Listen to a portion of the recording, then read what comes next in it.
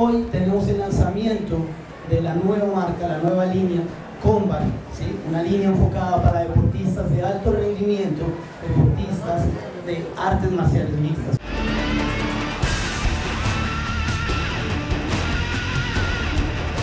Ustedes, Marlon Chito Vera, un aplauso por favor.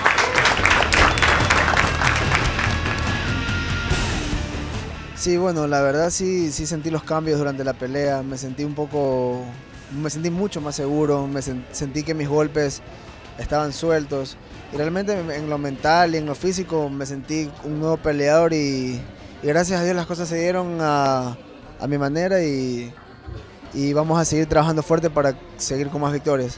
Realmente fue algo bastante difícil, me cancelaron las tres peleas la semana de la pelea. Entonces, mentalmente sí me afectó mucho eso, porque estaba, estaba listo para pelear, pero así mismo, si algo pasaba, las cosas pasan por algo.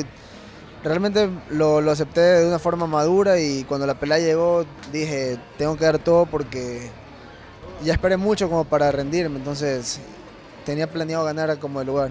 Ahora voy a regresar a Estados Unidos el día lunes y empezar a trabajar en las fallas y empezar otra vez, ¿no? Las cosas no se acaban con una victoria y yo trato de, seguir siendo el mismo, ¿no? trabajar fuerte y, esperar la próxima.